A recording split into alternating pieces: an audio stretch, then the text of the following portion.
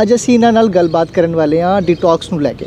Detox ਜਿਹੜਾ social media ਤੇ ਕਈ ਆਮ ਸ਼ਬਦ ਵਿੱਚ ਇਸਤੇਮਾਲ ਹੋਣ ਵਾਲਾ ਵਰਡ ਅੱਜਕੱਲ ਬਣ ਗਿਆ ਹੈ ਜਿਸ ਨੂੰ ਲੈ ਕੇ ਕਾਫੀ ਚਰਚਾ ਚੱਲ ਰਿਹਾ ਹੈ। ਤਾਂ ਸਭ ਤੋਂ ਪਹਿਲਾਂ ਸਵਾਗਤ ਹੈ ਸਰ। ਨਮਸਕਾਰ ਸਰ।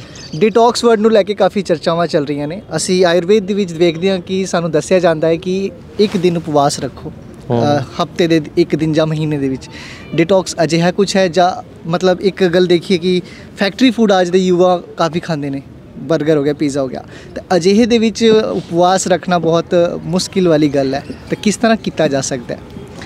ਦੇਖੋ ਅੱਜ ਹਿੰਦੁਸਤਾਨ ਵਿੱਚ ਕੋਈ ਮਰਜ਼ੀ ਹਸਪੀਟਲ ਚਲੇ ਜਾਓ ਸਭ ਭਰੇ ਹੋਏ ਹੈ। ਜੀ। Kidney fail liver fail cancer thalassemia sugar BP. ਬਿਮਾਰੀਆਂ ਹੀ ਬਿਮਾਰੀਆਂ ਨੇ। ਇਹ ਸਾਰੀ ਗਲਤੀਆਂ ਦੀ ਜੜ ਜਿਹੜੀ ਹੈ ਉਹ ਡਿਟੌਕਸ ਨਾ ਕਰਨਾ ਹੀ ਹੈ।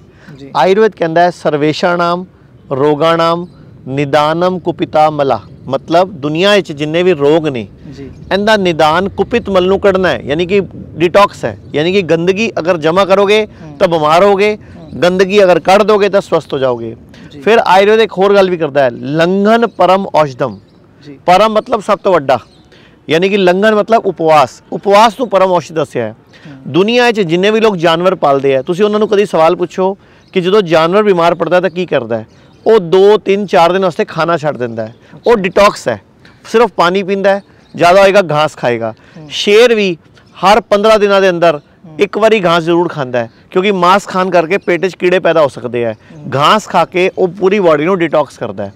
ਇਹ ਛੋਟੀ ਜੀ ਗੱਲ ਡਿਟੌਕਸ ਜਿਹੜਾ ਸ਼ਬਦ ਹੈ ਇਹ ਅੰਗਰੇਜ਼ਾਂ ਨੇ ਬਣਾਇਆ ਡਿਟੌਕਸ ਲੇਕਿਨ ਆਯੁਰਵੇਦ ਨੇ ਇਹਨੂੰ ਹਜ਼ਾਰਾਂ ਸਾਲ ਪਹਿਲੇ ਸ਼ੁੱਧੀ ਨਾਮ ਤੋਂ ਸੰਬੋਧਿਤ ਕੀਤਾ ਸ਼ੁੱਧੀ ਪਰਮ ਔਸ਼ਧੀ ਜੀ ਕਿ ਕਲੀਨਿੰਗ ਹੀ ਦੁਨੀਆ ਦੀ ਸਰਵਸ਼ੇਸ਼ ਔਸ਼ਧੀ ਹੈ ਤੇ ਮੈਂ ਕਹਿਣਾ ਚਾਹੁੰਦਾ ਜਿਹਨੂੰ ਵੀ ਸ਼ੂਗਰ ਹੈ ਬੀਪੀ ਹੈ ਜੋੜਾਂ ਦਰਦ ਲੀਵਰ ਖਰਾਬ ਕਿਡਨੀ ਖਰਾਬ ਕੋਈ ਗੈਸ ਤੇਜ਼ਾਬ ਕਬਜ਼ ਕੁਝ ਵੀ ਬਿਮਾਰੀ ਹੈ ਤੁਸੀਂ ਹਰ ਹਫ਼ਤੇ ਇੱਕ ਉਪਵਾਸ ਸ਼ੁਰੂ ਕਰ ਦਿਓ ਲੇਕਿਨ ਉਹ ਉਪਵਾਸ ਉਹ ਵਾਲਾ ਨਾ ਹੋਵੇ ਜਿੰਦੇ ਸ਼ਾਮੀ 6 ਵਜੇ ਖਾਣਾ ਹੈ ਕਿ 4 ਵਜੇ ਖਾਣਾ ਹੈ ਉਪਵਾਸ ਮਤਲਬ ਪੂਰਾ ਦਿਨ ਉਪਵਾਸ ਯਾਨੀ ਕਿ 24 ਘੰਟੇ ਦਾ ਉਪਵਾਸ ਸਿਰਫ ਪਾਣੀ ਗਰਮ ਪਾਣੀ ਹੋਰ ਕੁਝ ਨਹੀਂ। ਅਗਰ ਜ਼ਿਆਦਾ ਤੁਹਾਡੇ ਕੋਲ ਨਹੀਂ ਕੰਟਰੋਲ ਹੋ ਰਿਹਾ ਫਿਰ ਤੁਸੀਂ ਉਹਦੇ ਵਿੱਚ ਫਰੂਟਸ ਖਾ ਲਓ ਜਾਂ ਸੈਲਡ ਖਾ ਲਓ ਕੁਝ ਹੋਰ ਨਾ ਖਾਓ ਜਾਂ ਜੂਸਿਸ ਪੀਓ ਫਰੈਸ਼ ਵਾਲੇ ਤੇ ਉਹ ਉਪਵਾਸ ਕੰਮ ਕਰੇਗਾ। ਅੱਜ ਦੇ ਟਾਈਮ 'ਚ ਭੱਜ ਦੌੜ ਵਾਲੀ ਜ਼ਿੰਦਗੀ ਹੋ ਗਈ ਹੈ ਤਾਂ ਭੁੱਖ ਵੀ ਜ਼ਿਆਦਾ ਲੱਗਦੀ ਹੈ ਲੋਕਾਂ ਨੂੰ ਠੀਕ ਹੈ? ਜਾਂ ਫੈਕਟਰੀ ਫੂਡ ਕਰਕੇ ਲੋਕਾਂ ਨੂੰ ਨਾ ਹਮੇਸ਼ਾ ਇੱਕ ਕ੍ਰੇਵਿੰਗ ਹੁੰਦੀ ਹੈ ਕਿ ਕੁਝ ਖਾਈਏ ਕੁਝ ਖਾਈਏ।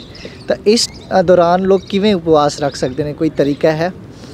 ਦੇਖੋ ਮੈਂ ਤਾਂ ਇੱਕ ਹੋਰ ਤਰੀਕਾ ਦੱਸ ਦਿੰਦਾ ਮੈਂ ਇੱਕ ਡਾਈਟ ਚਾਰਟ ਦੱਸਾਂ ਬਿਲਕੁਲ। ਅਗਰ ਉਹ ਡਾਈਟ ਚਾਰਟ ਹੀ ਅਪਣਾ ਲੋਗੇ ਤੁਹਾਨੂੰ ਵੈਸੀ ਬਿਮਾਰੀ ਨਹੀਂ ਆਏਗੀ। ਉਹ ਡਾਈਟ ਚਾਰਟ ਹੀ ਆਪਣੇ ਆਪ ਵਿੱਚ ਇੱਕ ਉਪਵਾਸ ਹੈਗਾ। ਦੱਸੋ ਸਰ। ਅੱਜ ਤੋਂ ਬਾਅਦ ਤੁਸੀਂ ਇੱਕ ਨਿਯਮ ਬਣਾਓ ਸਵੇਰੇ 12 ਵਜੇ ਤੱਕ ਜਦੋਂ ਨਾਸ਼ਤਾ ਕਰਨਾ ਹੈ ਤਾਂ ਤੁ- ਤੁਸੀਂ ਵਜਨ ਗੁਣਾ 10 ਗ੍ਰਾਮ ਪਹਿਲੇ ਫਰੂਟ ਖਾਣੇ ਆ। ਜਿਵੇਂ ਤੁਹਾਡਾ ਵਜਨ ਹੈ ਮੰਨ ਲਓ 65 ਕਿਲੋ। ਤੇ 650 ਗ੍ਰਾਮ ਫਰੂਟ ਖਾਓ।